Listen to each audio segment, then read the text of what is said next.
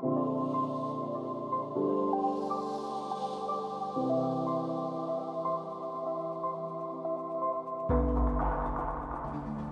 again. So today we have the first panel of the day here in the Tropical Sunset scenario. So I'm very happy to introduce you to Adrian Sutton, Oisin Kyne, Paul Hauner, and Vasiliy Shapovalov.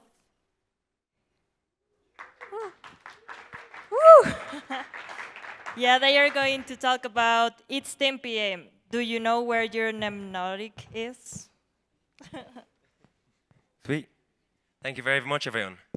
As some of you that can count might notice, we're one short and a panelist, but uh, I think he'll join us um, momentarily. So I think we'll more or less kind of kick off and do a bit of intros and stuff beforehand. Um, oh, there's the man himself, Vasiliy. Uh, okay. Um, so how with slides?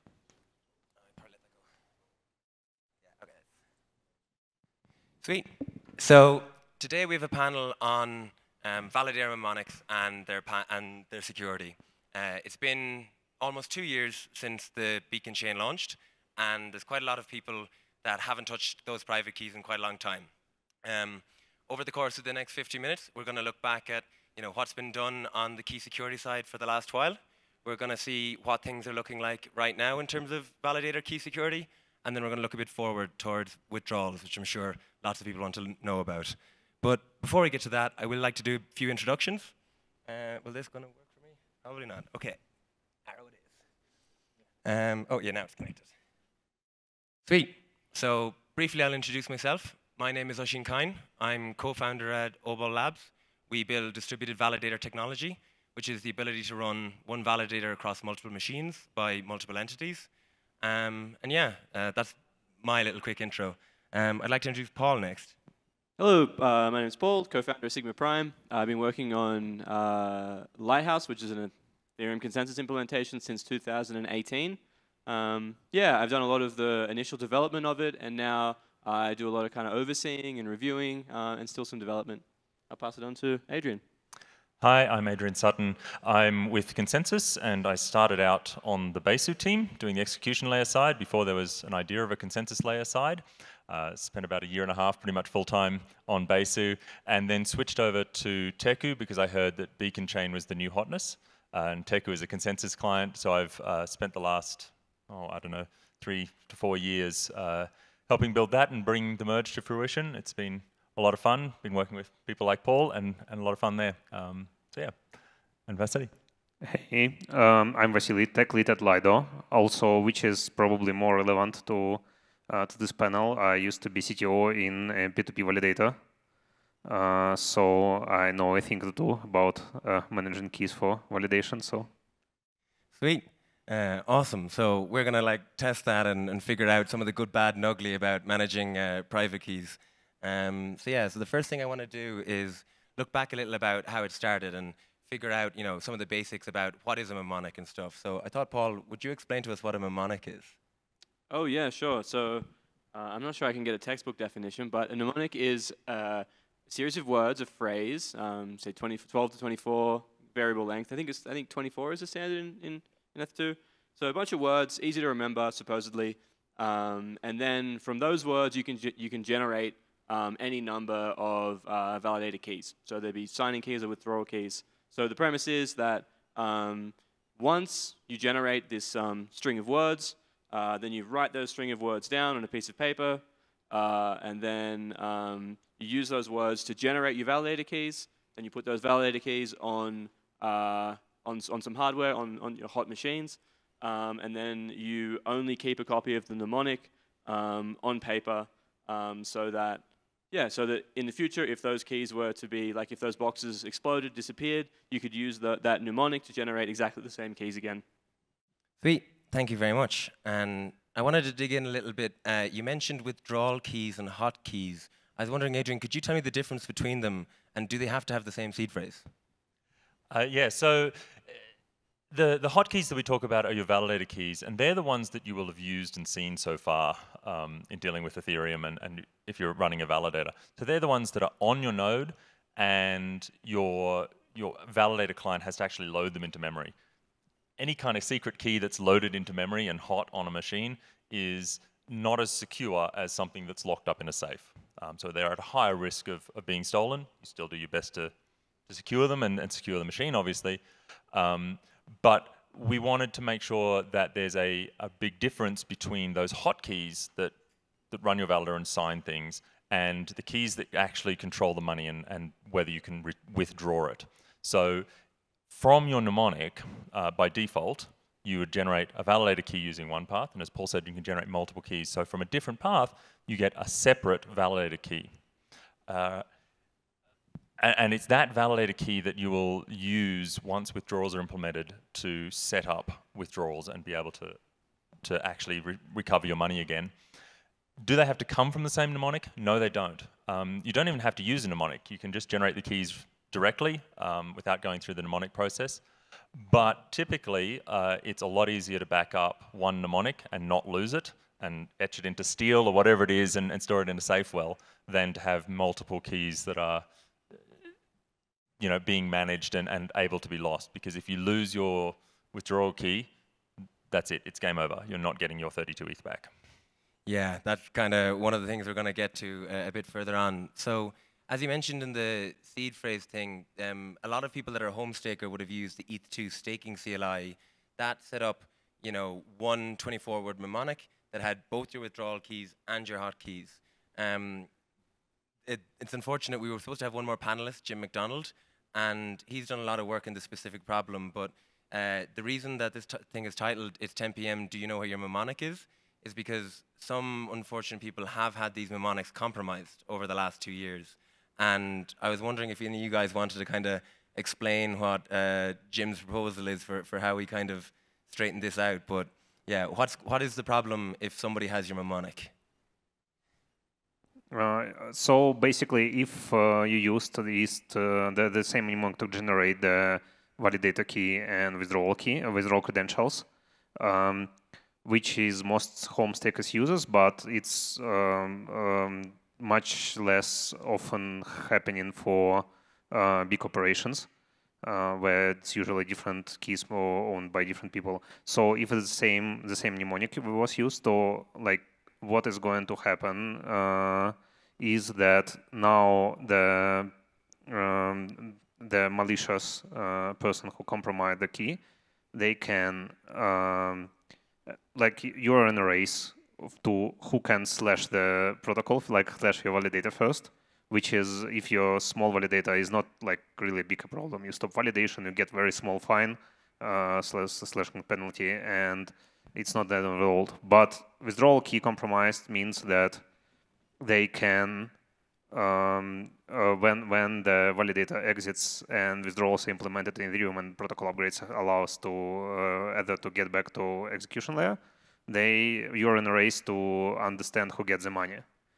And if you're a small staker, you probably lose the race uh, versus like a craft, like crafty adversary. Sweet. We'll uh, follow up a bit more about that later on the talk, but I wanted to ask you a bit about Lido Vasiliy and specifically the withdrawal key setup you guys used at Genesis, so not the most recent one. Could you tell me a bit about like how Lido originally set up with withdrawal keys? Uh, yeah, uh, long story short, uh, the initial, I think about like 15 or 20% of stake that Lido has, has been uh, deposited on a threshold signature on on um, uh, zero x zero type, if I'm being exact for for people who know.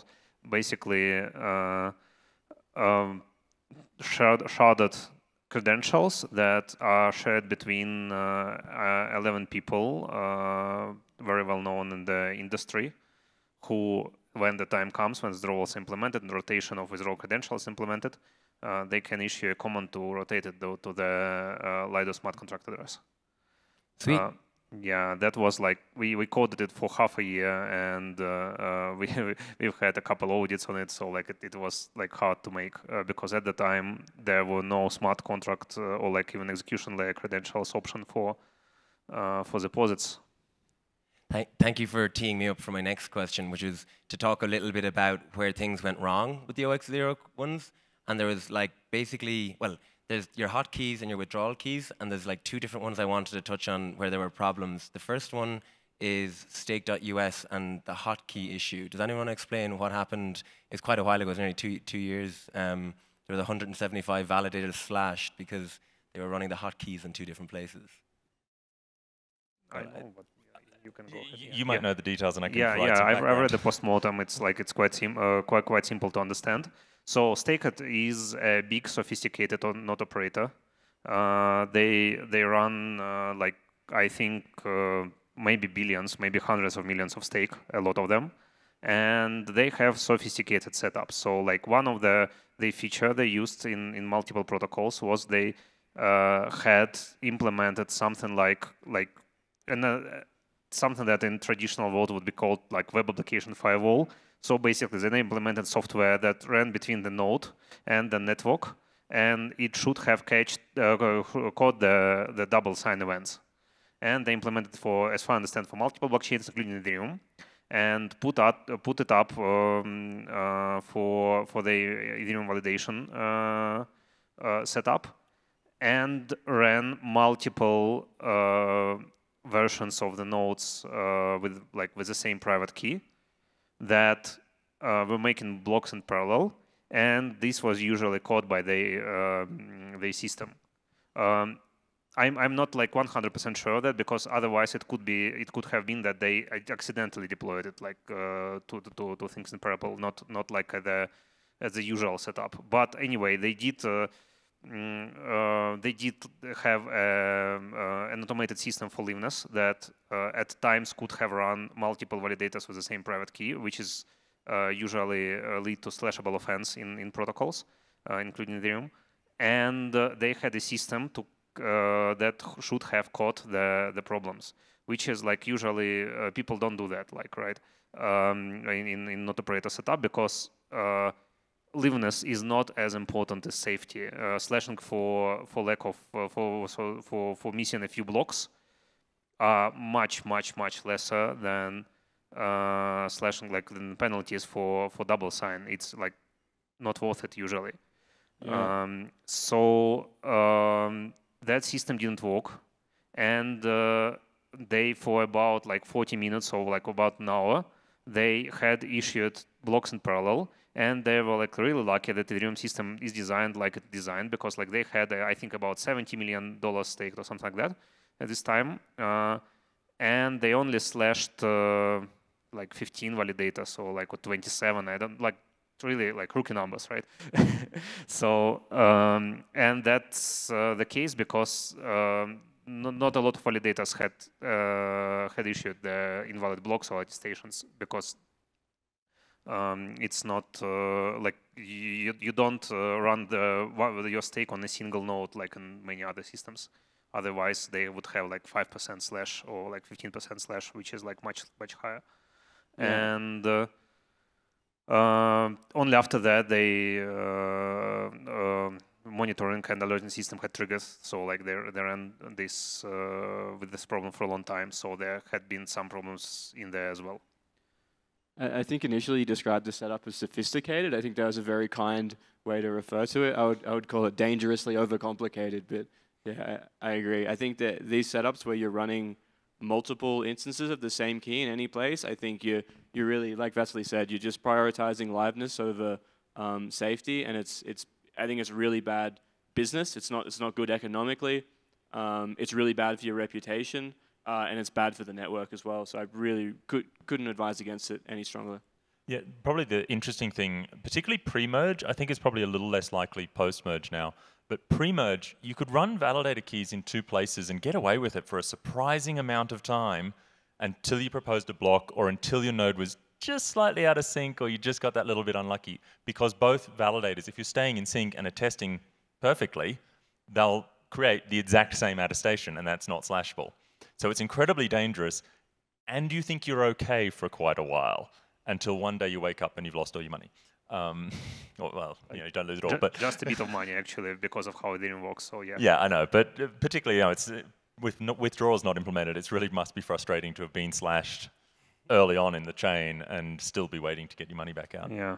For sure. And then, as you mentioned, slashing, you don't lose all your money. But as we touched on earlier, if there's problems with withdrawal keys, you can be like really in trouble. There was one other very famous issue about two years ago as well by Stakehound. Does anyone remember what happened there with their withdrawal keys? I had to go look this up myself beforehand. Yeah, you might have to give me the background. I remember stories no. and not names. oh, I, I, also know exactly what happened. yeah, I, I read all the Postmortem, so yeah. uh, yeah, so uh, the thing is, uh, Stakehound together with Fireblocks uh, has designed a system not unlike the one that Lido designed, with threshold signature used for holding keys, except it was like mm, much smaller. I think they only had like three or four signatures, out of which two, two, two shards was in possession of Stakehound and two shards were possession of Fireblocks. And uh, um, nobody knows what exactly happened uh, because like the the parties have like different interpretation of what happened. But what we end like what they end up in situation when the two shares that Stakehound was supposed to hold were not held by Stakehound. And that could have happened like we don't know why that happened. Like maybe it was like problem on the software side maybe it was problem on Stakehound side on communications on like uh, wrong backups system like that's buried in lawsuits i think right now. So um, uh, not sure about that. But the end result is uh, all that stake about 72 million by i think 38000 either yeah yeah 600 uh, dollars per head or something like that um, I didn't check if it's operating still or not. Like if, if the, I think it's operating still because uh, like there can be a miracle. Uh, I don't know. Uh, someone always get transaction rewards now. Yeah, yeah. some some some kind of like chance that you find like an old mnemonic in the old uh, um, jacket or something, right? I don't know. Uh, but uh, it's essentially unwithdrawable right now. This is how you wind up with your CEO sifting through the dump, looking for. Quite possibly, or yeah, going through like any old bit of hardware they can find. Um, but yeah, thank you very much, Vasiliy, for giving those descriptions and preventing me from having to do it. But yeah, I think we don't necessarily know, you know, what happened, but what we do know is that if anything happens to your withdrawal key, odds are very high that there's nothing you can do. Um, so with that in mind, Genesis happened in December 2020, and about six months later or so, there was a change to withdrawal credentials. They introduced the idea of um, what we know as 0x01 type withdrawal credentials. And does anyone explain what they are? Yeah, actually, no, that one, that's good.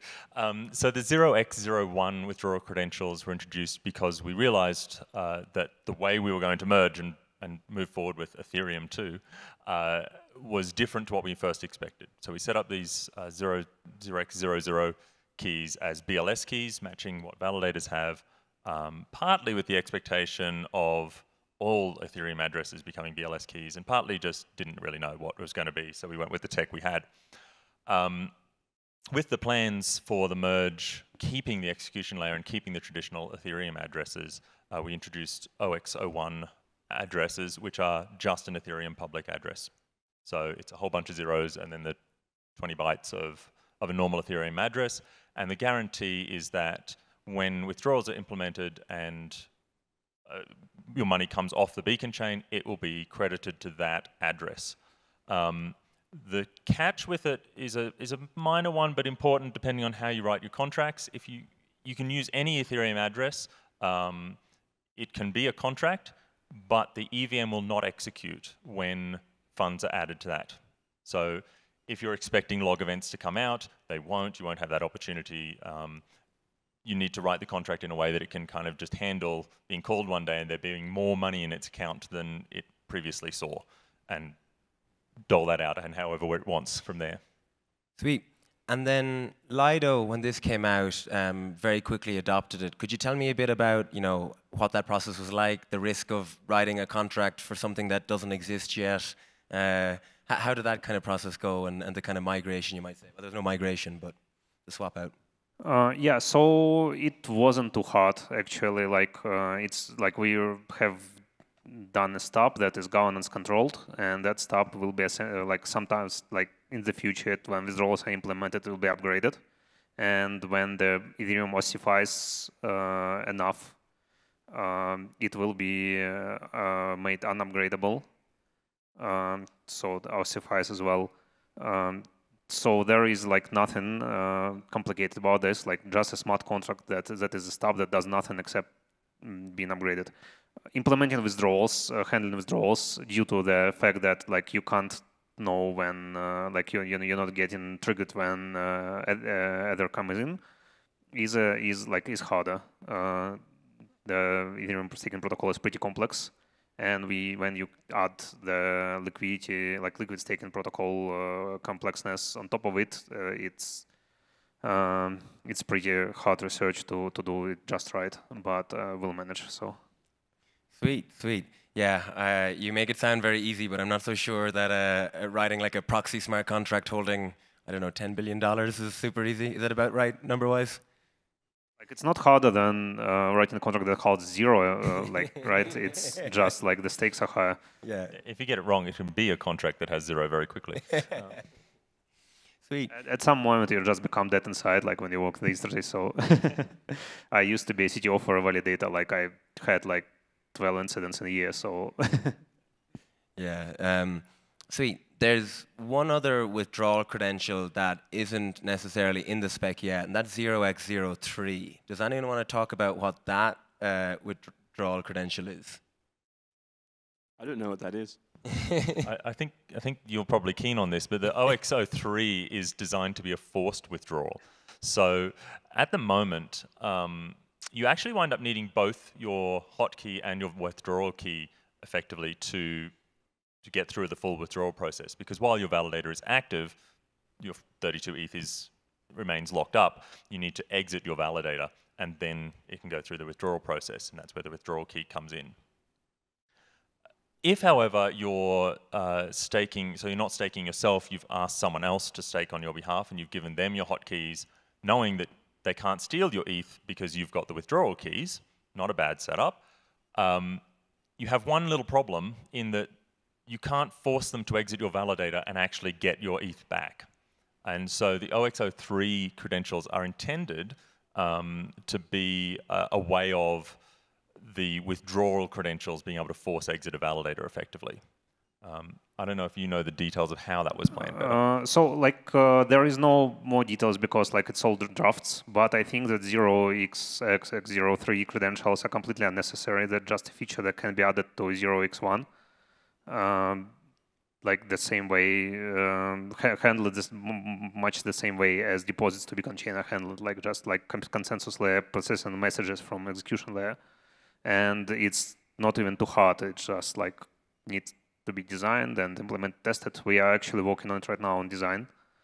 Uh, I don't think it'll it can make uh, it into Shanghai. I'm like that's probably unrealistic, but like the next hunt after Shanghai is doable, I think. It, the, the interesting trade-off as a client dev and, and designing some of these protocols when we're talking about withdrawal processes is trying to be fair with who controls which key and therefore what respons- what rights they have. Um, so we've kind of set up this idea that the money will go to whoever has the withdrawal key, um, and the signing key is in control of actual signing and exit. And as every time we go and change that, you wind up with a whole bunch of people in quite unique situations that were built around that particular split of responsibilities.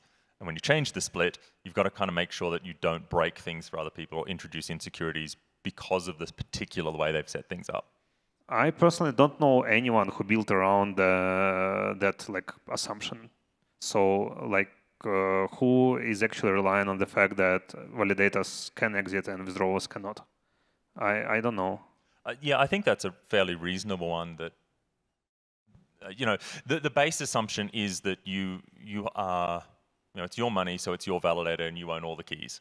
Um, when you start to move away from that into um, staking providers and so on, you are moving out of the, I guess, ideal case. Um, you know, that there is a role for staking providers. I don't mean that as in you know this horrible person on my right or anything. um, um, but you know it does it does. The onus is almost on people doing that to to help with the security and manage it, rather than on the protocol itself because it's based around that one key one validator type setup. Um, so yeah, I think I think it's quite reasonable to make a lot of these changes, and and we can kind of push those boundaries a lot of the, the actual expectations haven't been really formally and strictly set down either. Um, we've kind of given a, an expectation in many cases, but knowing that we didn't have actually a plan for withdrawals when we set most of them, we knew there were going to have to be changes. And so there are kind of some really core things maybe that we've got to keep that, you know, like the money goes to the withdrawal key, not the signing key. It'll never be the signing key that gets the money. Um, but beyond that, yeah, there's, there's a lot of wiggle room we do have. I, I had a similar concern. I did mention my background, but I also, like previously, ran quite a large validator and ran maybe 10,000 plus validators. And uh, at one point, when they were discussing this, you know, new 0x01 withdrawal type, and you know that would be the way that ultimately like money will come out. If you are on the 0x01, you'll need to like swap eventually before you can withdraw. There was a, a moment where that was going to be the hotkey that gets to pick where the new 0x01 one was. And I was quite concerned because all of a sudden that meant I was in charge of billions of dollars for a, previous, a small amount of time. And then they were like, okay, no, let's make the withdrawal key make that change. And I think that's uh, definitely for the better. But uh, on that one, I do have a question for the two client devs. When it comes to like, I don't want to say keeping people happy, but whenever like people have requests of how to build staking, are you always focused on the home staker? Are you always focused on enterprise liquid staking pool? There's often come into conflict. Like, who, who are you keeping happy and, and who are you disappointing? Paul? I think Adrian expressed um, a little bit of that sentiment in his previous one. Um, uh, it, it's it's different for everyone. I think I can't speak for all the client devs. I can't even speak for my entire team. I can speak for myself. Um, I like to prioritize the home staker. I think I think that's kind of the base instance, if you know what I mean, uh, where kind of all other features are uh, kind of supersets of that. Um, and I also think it sticks with the Ethereum ethos of decentralization as well.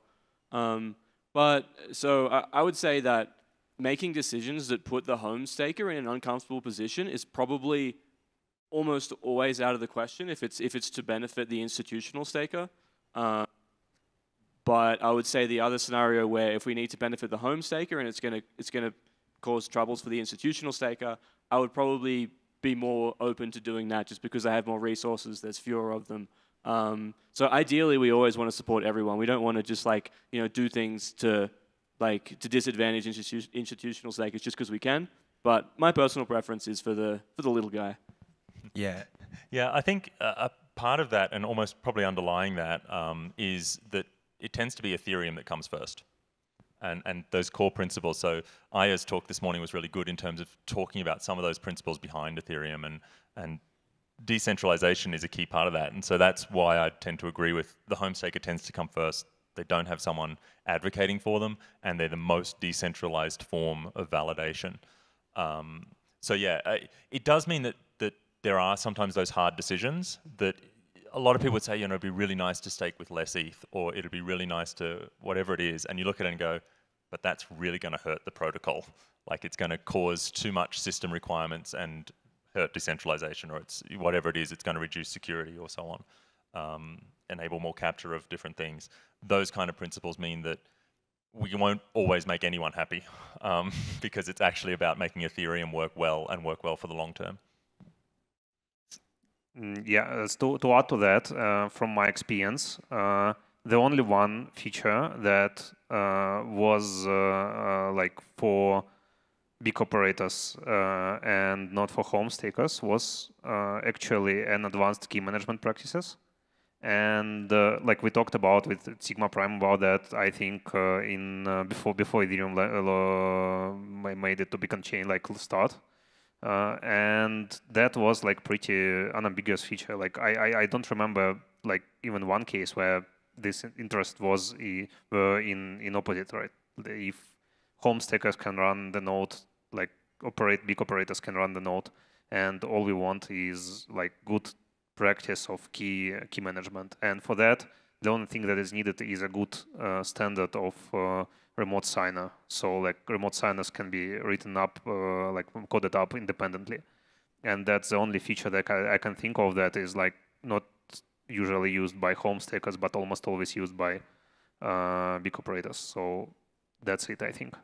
Yeah, uh, absolutely. Most of the decisions we have to make are uh, good for everyone, and it works out pretty well. The, the external signer is a really interesting one because it wound up with a niche. It's been used by a number of systems, including Dappnode, to make it easy to swap clients. So you put your keys into the external signer, and it holds them and your slashing protection, and then you can change your validated client and beacon node all you like without ever moving your keys. Uh, so home stakers have wound up adopting this technology that was really first built for, for the big staking providers, and that's kind of cool. Yeah, the one thing you're describing in terms of where the protocol was changed to favor the the home stakers versus the like uh, enterprises was probably with MEV boost and blinded beacon blocks. Um, this one, you know, is one that we're probably seeing a lot of people kind of giving out about now, but I think a lot of people don't consider the counterfactual, which was if these were plain text blocks, MEV boost and might not be like given to home stakers and the fear was that if they were excluded from MEV, um, it would like massively impact their reward and would massively harm them. So, you know, we now have this world where people are giving out about like, you know, centralized relayer censoring and that was kind of the trade-off of going for the blinded blocks and stuff. But yeah, it, it's definitely a tricky one and I, I sometimes am grateful that I can just ask tricky questions, don't have to actually answer them most of the time. um, so the next thing I wanted to do a little was look a bit forward on kind of where we're going next in terms of withdrawals. Um, so we talked a lot about like the like withdrawal credentials, but we haven't really talked much about how it's going to happen. You might say, and I'm going to try and not ask like when withdrawals, but can I ask um, how the withdrawal spec has changed over the last six months? We started with kind of a pull-based system, and now we're at like push. Do Adrian, Paul, do you want to like talk about why they swapped? Uh, yeah, I didn't follow it a whole lot um, whilst whilst in in the previous uh, pull method, but I do know how the push method works now, um, and I think it is a lot simpler. So the method that's going to happen now, well, not going to happen, but it looks like it's going to happen, um, is a system where the beacon chain uh, automatically, without user input, will scan through the validators and look for validators that are fully withdrawable, withdrawn, um, and then it'll just pull their ETH out and then put it on the, the execution chain. Um, it'll also look for validators who have excess balance above 32 ETH, and then just pull that excess balance out and put it on the execution chain. So this is um, kind of, so it's, it's, it's an automatic process where uh, you don't need to go and withdraw ETH. You just kind of end up with money in the smart contract, which I think is really, really nice. I think it's really good for users because um, it means they're signing less weird messages. I know anyone who runs a validator could probably um, empathize, but the idea of having to go and touch the keys on my validator client or do something with my validator client apart from just leaving it alone is just terrifying and it's horrible. Um, so I think it's really good to be able to just like have it happen automatically. Um, yeah, there's going to be I don't know if I so there's there's, there's going to be a complication though, and it, and it kind of it goes around these um, two types of um, withdrawal keys we have. So it's been mentioned there's the 0x00 keys, which is a BLS withdrawal key, um, and then which was the like Adrian said, we did that in the early days because we didn't know what we were going to do. Uh, and then there's the 0x01 where we um, don't have a BLS key, we just have an Ethereum address. Um, so if you're on a 0x01 Ethereum address, then this automatic withdrawal system is gonna is just gonna work for you. It's just like when the hard fork happens, you're gonna start getting some some fresh ETH. Um, but if you're with the BLS keys, what you're gonna have to do is go and dig up your withdrawal keys from wherever you put it, um, and then you're gonna need to use some sort of tooling um, to sign a message um, to say, okay I'm now moving away from this BLS key that, that I'm proving that I have, and I'm switching over to an Ethereum address, 0x01 type, and then the automatic withdrawals can kick in. Um, so yeah, I think it's a shame that we have to do this. We have to make, I would say, most users um, go and sign this message, um, but uh, I think it's unavoidable. But then after that, um, it'll all kind of happen automatically. So knowing that that is very much in the pipeline and looking like it's going to happen, where I know Lighthouse is starting to implement it. I think Teku is. Lots of the clients are keen on it. Um, I would say if you're creating a new validator today, uh, I would be using 0x01. I would be using an ETH address. Um, I think it's going to make your life a lot easier. Um, and I think just managing, I think managing Ethereum addresses is much easier uh, than managing BLS keys, just because we've already got Trezors and everyone's familiar with it. Yeah, one really important point is that once you have switched to an 0x01 key, once you've got an Ethereum address, whether you started with it or whether you switched through this new system, that's it. You can't change it again. Um, and there's concerns around that because people want to change it, but generally the reason you'd want to change it is because you've gone and lost the key to that, or you typed in the wrong address or something. Don't make that mistake. It's like transferring money to that address, right? It's gone. There is no way to get it back if you don't control the key. Uh, because, as we talked about before, it's the withdrawal key that has to own the money. So if you tell us that 0x00000, the null address, owns your ETH, well, now it does. Um, and you're not going to get it back. And there's really very little we can do about that. Well, there's nothing we can do about that. For sure. I think um, we're going to see a lot of work, and there was actually a talk by Attestant just briefly beforehand where it's now that we can have like Solidity contract addresses, you can program your like change of ownership in there and not like at with some cryptography or any sort of like multi-sig or anything too weird. Yeah, and that's absolutely a big part of the reason that we've gone with such a simple approach to withdrawals. We don't need to do anything fancy on the consensus layer side because you've now got the full power of the EVM um, to to work with things and, and have upgradable contracts or split contracts or all kinds of things there um, that let you have this behavior. So think hard about what address you set as your withdrawal address. I would say for most home stakers, it should be something like from your Trezor, you know, your hardware wallet that that is very safe and very secure and simple. Keep it simple. You don't need to do anything fancy. And then, you know, staking providers will use something that is a contract and probably upgradable, so they've got some control over it. And then there's a range of people in the middle where you you think about what your needs are and possibly use a, a very simple contract that could be upgraded, but could also just kind of hold the funds and send them to you. For sure, yeah. I think um, the, you've touched on one of the things that will show up over the next few years, and this is the EVM having more control over the consensus layer. Because as you pointed out, right now you write an address and money will show up, but like no code is going to execute, and that's about it. Um, how do you think that's going to change, and what is the EVM, I don't know, consensus layer API going to look like in three years' time? I'm really hoping it doesn't ever get a say.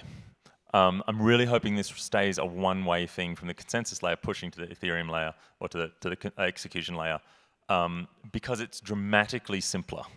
Uh, to get the EVM to call out to the consensus layer is a big deal and a really big challenge. We've kind of done it with deposits, and it's the worst code in any any consensus client is tracking those deposits, and we want to simplify it now we've merged. Um, but there isn't a generic system for passing messages from the EVM back to the consensus layer, and it's a big deal to try and design it. Yeah, definitely no writes, but reads hopefully. Uh, I hope that the consensus layer can start to push some information about itself into the EVM so that you can, you know, do proofs to beacon state roots. But I'm with Adrian. Um, yeah, I wouldn't. Uh, going the other way is it would be very painful. For sure, yeah. Definitely don't want to go the other way. But uh, as you said, being able to read things about the consensus layer, I think is going to become very important because one of the things that we look at with all of the liquid staking pools is for the last two years, these were two totally separate chains, and there was like no information passed. Even still, post-merge, there is still more or less no information being swapped. But all of these pools more or less have oracles to say what's happening over in the consensus layer side. And I want to take the chance maybe to talk to Vasiliy a little bit about how does exits work for something like Lido? Because you guys are, you know, a liquid staking token, and you're soon going to be able to offer redemptions for the first time but the redemption queue is very bandwidth constrained. So how does that work for Lido trying to allow people to exchange their ST for real ETH at some point, you know, in the near future? What's that going to look like? Yeah, so um, we haven't settled on the final design yet. So what I'm talking about is the work-in uh, work progress solution, right? Um, uh, it's almost ready though for like presentation and voting in for for the DAO, etc. Um, but the gist of it, the best solution we can do is to reflect the withdrawal queue in on the execution layer. We like try, like looked at multiple different approaches, like au uh, auctions for for the like for the place in the queue, um, some kind of buffers for withdrawals, etc., etc. And it all, um, I think, is like strictly inferior to allowing people to place the like request to withdraw and we put them in a queue on the uh, beacon chain and withdrawal happens and they get their their withdrawals uh, when the time in the queue passes so uh, that's probably going to be it's pretty like it's pretty complicated uh, because like there are multiple asynchronous processes happening, like mm, the withdrawal requests, the um, Oracle reports about what happens on the beacon chain. Like you said, right? We Lido needs information what's happening in the beacon chain, and we can't get in real time. Uh, it's uh, it's uh, imp just impossible, right? So um, Oracle requests, slashings, and slashings are like we haven't had any uh, in our lifetime in Lido, but like if it happens, it's like 35 days process at least.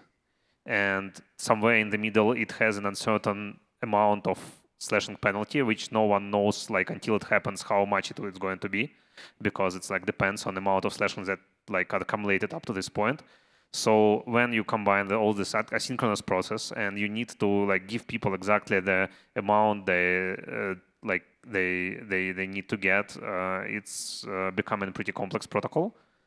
Mm, but in fair weather, it just the same queue as uh, on on consensus layer reflected on execution layer as um, like basically vouchers for for the place in the queue. Sweet. Um, awesome. Yeah, that makes a lot of sense. And I think you're not going to be the only one that's going to have uh, a lot of pain with these withdrawal queues very soon because everyone just thinks withdrawals. No one thinks withdrawal queue. And um, that actually leads me a bit to the like balance skimming. Um, this is another thing that Jim, our like fifth panelist, is very like uh, in favor of, which is if you don't have any way to take the money above 32 ether that's accumulated, all of the big um, liquid staking protocols will just start to churn their validators, take off the you know three ether off the top and like set up a new one, and the queues will be like perpetually full because you know why don't you just like go and like kind of skim and, and restake? Um, can anyone tell me a bit about what you know skimming is going to look like because it's also changed a bit in the last few weeks? Yeah, it's a it's a very similar process to, to what Paul described in terms of finding of scanning through the validators and just it, it magically happens. It's pushed from the consensus layer. The the key thing is that there will be a limit to the number of validators we scan each epoch to, to look for whether you've got money over that 32 ETH that could be pushed to the execution layer. The reason for that is that we've got to fit it into blocks. Um, and it's like another Ethereum transaction that goes into a block, but we're not charging gas for it. Uh, it just happens, and so we kind of have to have a, a rate limiting on it um, to make sure that we're not effectively just blowing up our block limit and, and, and, execution clients are able to process these, these blocks in a reasonable amount of time. So I think it's something like every two months we get round the validator set, um, but I don't think the numbers are at all set. So um, yeah, it's those numbers in particular are going to go through some research and, and seeing what the impact is on execution clients of this many or that many deposits. Um, but it means that fairly regularly, and it'll be in, in that order of you know a low number of months I think that we're aiming for generally, fairly regularly, whatever you've got over the 32 ETH gets swept to the execution layer. So you start getting your rewards on top of the transaction rewards you're getting when you propose a block now.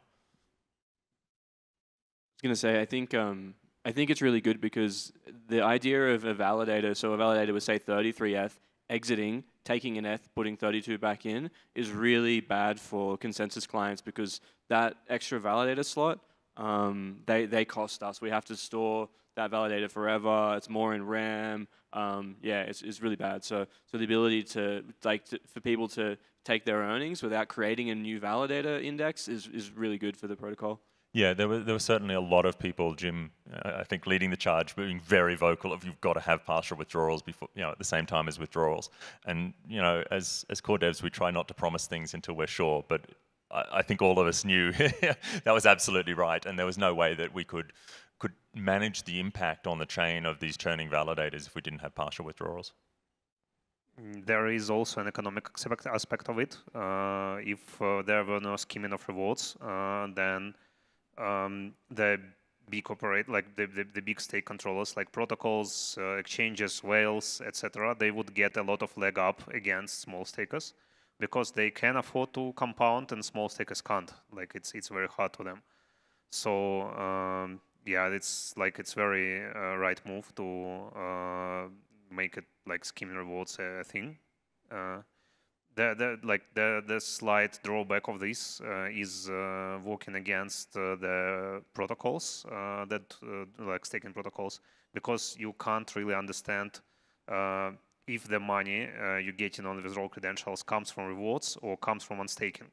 And you need to know that because like rewards you have to distribute to stakers and unstaking is like something like someone withdrawing something gone wrong or like maybe slashing happened like you, you need to uh, work on um, but uh, it's anyway uh, much better than the alternative. Yeah, I'll, I'll, also echo the. It makes much more sense from the compounding thing. But as someone trying to write like Solidity to keep track of something, you now don't know was this a very bad slashing or was this a skim. So it is a bit tricky like that. Um, I've just one more question before we go to the audience for a few. So have a think of anything you want to ask the the panel here. But um, when the Capella hard fork comes in and we have this 0x0 to 0x1 upgrade how messy do you think it's going to be? Is it going to be over in two blocks and it's going to be 10 people? Is it going to be 50,000 validators? uh, I, I, suspect, I mean, uh, probably the majority of validators on the network, uh, uh BLS credentials, of will need to switch. I don't think there'll be a huge rush. Um, I, I, think there'll be, you know, the initial burst, and very likely what will happen is you will submit it and operation pools in clients will actually be full, and it'll probably get dropped from the network and it just won't make it onto chain at all, and you'll need to submit it again. So we'll kind of have to work through the, the usability of that because if there is a big rush, it's more than we'll keep in the memory pool, basically. Um, but I think generally it will be over time because people have got to get their withdrawal keys out. It's something you should take your time and do safely and not rush in the first instant. Um, and, and once it's done, it's over. So it's, it's fairly, fairly one-off. Yeah, I think we'll have to think a lot about the tooling to make it easy for people as well. Um, I know the staking, I was talking to Carl from the EF, Carl Beek, um, and he was saying that it's likely that the staking deposit CLI tool will have the tooling to allow you to do it. Um, and I think it'll be a little bit easier because the staking deposit CLI now kind of like makes a bunch of files for you, and then you need to put data at those files. Um, and that's kind of annoying in my opinion. And I think what now that the APIs have evolved, hopefully what we can do with the staking deposit CLI will like you can just input your mnemonic and then tell it where a beacon node is, or even a, like a public node, and then just have it publish it out to it like that. So it'll be a little bit scary because you have to touch some crypto stuff, but I'm hoping that it'll it'll, it'll be okay. And I think that I think I, am keen. I know Adrian would be keen as well to to try and make it nice and smooth for people. Yeah, and and I would expect there'll be an offline option of that as well. So you can generate a file of you know, your, your switch command, the operation that you can then you know, put on a USB stick, take over to a hot thing, and, and then send to a public beacon node. Yeah, you could probably upload it to the file to a web page or something like that. Yeah, very likely. And it's already pre-signed, so it can't be changed. It's not a it's not a risky thing. It's just like you something you move up. Yeah, my estimation is about 200,000 validators will like rotate as soon as humanly possible, like as safely possible. Uh, the reason is like I know about Lido, we have about 50,000 and every extra second is an extra risk uh, on, this, on this credential. We don't want to do that. Like uh, we want to overload the network, of course, but like as soon as humanly possible, we do it. Um, it's it's very important. And uh, about I think like 150, 200,000 of operators are uh, on BLS credentials that are managed by exchanges and this exchange they want to uh, like to pay their rewards as soon as possible again and like convert it to liquid stake and derivatives for like custodial like Coinbase does with CBETH. So um, that's going to happen also very fast. Like the uh, the protocols and custodian that uh, aggregate user stake, they will and haven't rotated. They will rotate like they will rotate as soon as possible because uh, basically uh, BLS 0x00 uh, credentials are as useful as a potato. Uh, the only thing you can do with them is like exit or rotate, and like that's just not right. yeah, no, I, am aligned there, and I do think everyone will go and upgrade at like a relatively leisurely pace. Um, but the likes of the the Lidos on the old ones, and like I, I built Blockdaemons, and they're on 0x0 keys, but the withdrawal keys are totally separate to the like hotkeys. So I don't think they're as big a concern. But I unfortunately do think, and there've been people that have been posting on forums like admitting to this, that they have their hotkey and their like validating key on the same mnemonic, and they left that on their like validator machine or something similar, and that's been compromised. And the problem is, is, is, you know, I think there's at least 10, if not a bit more. Jim has probably good data on it. But um, when Capella goes live, for those first couple blocks, there will be an awful amount of MEV on the table for, you know, there'll be two people that can